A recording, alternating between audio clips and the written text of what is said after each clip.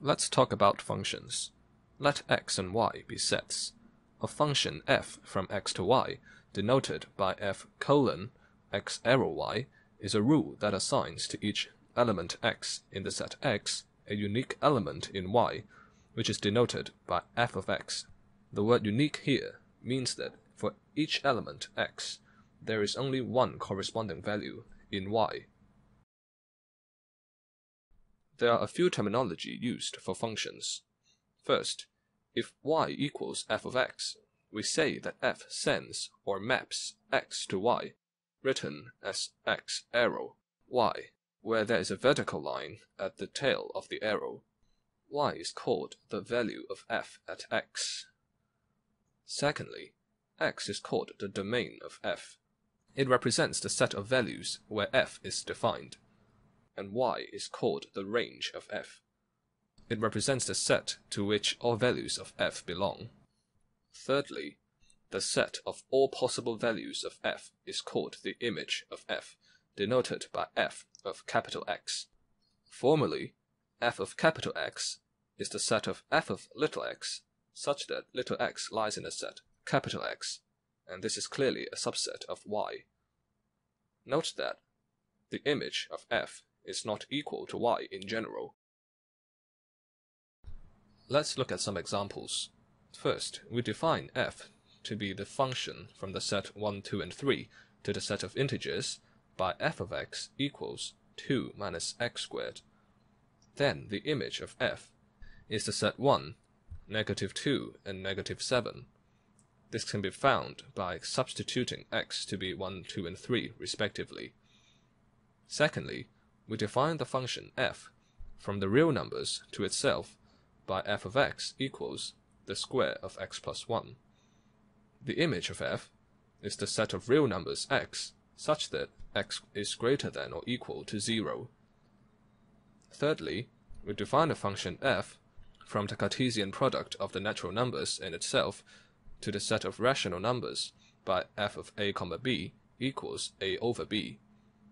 The image of f is the set of rational numbers x such that x is positive.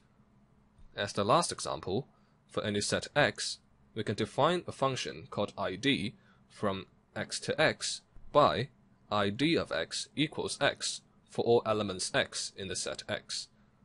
id is called the identity function on x.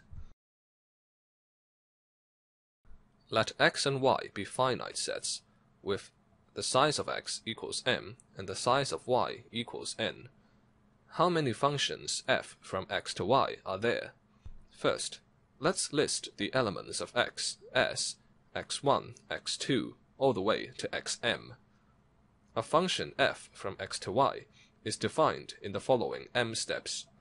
For step 1, we have to choose the value of f at x1.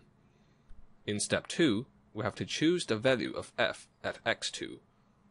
This goes on until step m, where we have to choose the value of f at xm. In each step, any of the n elements of y can be chosen, so there are n choices for each step. By the multiplication principle, the number of functions f from x to y equals n times n times n and so on for m times so the answer is n to the power m.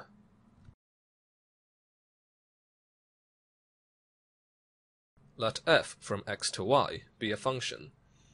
There are two ways to modify f. The first way is to restrict the domain of f. That is, if we have a subset of x, say a, then the restriction of f on a is the function denoted by f vertical line a from a to y such that f restricted to a of a equals f of a for all elements a in the set A. So in essence, the restriction of f on A is the same function as f, except that we consider a smaller set of values on which it is defined.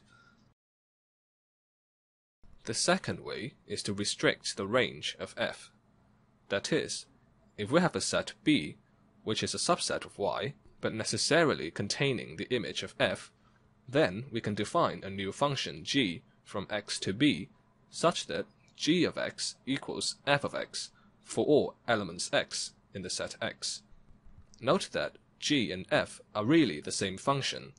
It is just that we have chosen a different range for g, and we are free to choose any set to represent the range of g as long as it contains the image.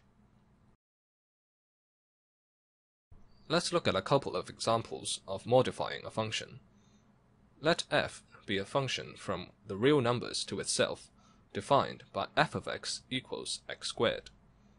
Observe that the image of f is the set of real numbers x such that x is greater than or equal to 0. Let's denote that set by the real numbers with a subscript of greater than or equal to 0.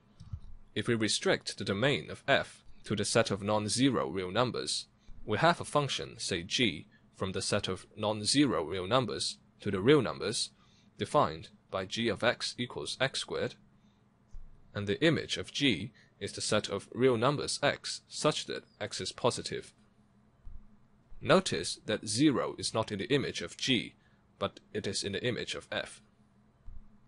On the other hand, if we restrict the range of f to the set of non-negative real numbers, we have a function, say h, from the real numbers to the set of non-negative real numbers, defined by h of x equals x squared, and in this case, the image of h is the same as the image of f.